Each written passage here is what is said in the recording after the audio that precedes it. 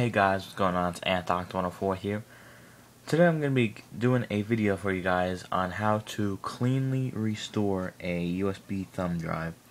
Um, if you downloaded, say, corrupt files or whatever, and you go ahead and you delete everything off of USB, and say you have, for example, a 2 gig USB like this one right here, and you download, say, like a 1 gig movie or whatever, and you put it on there, it says there's no space, and uh, you clearly see that there's nothing on there. I'm going to show you how to make sure that there's nothing on there, and to cleanly restore it, do everything like that. So you're going to go ahead and plug this into one of the ports on your computer.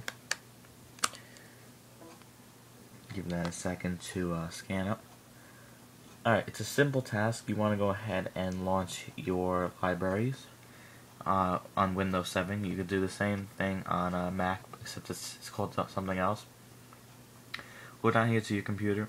You can either use the computer over here or um, select it over here. So you can see I have nothing on this drive.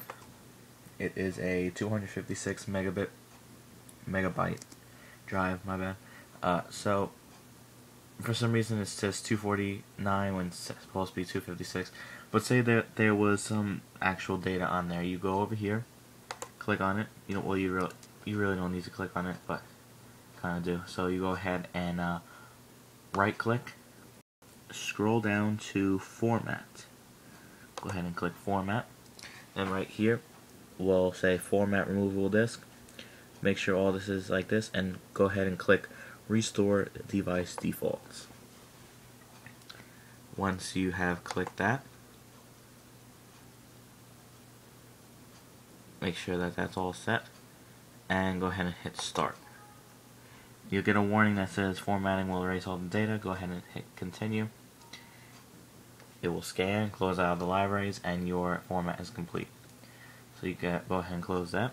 To check that it's complete, open up your libraries again go over to movable disk actually go over to computer so you can see it. And you can see that it is completely clean. This is good if you have say a terabyte drive or one of those big drives or just a regular USB and you have a lot of stuff on there.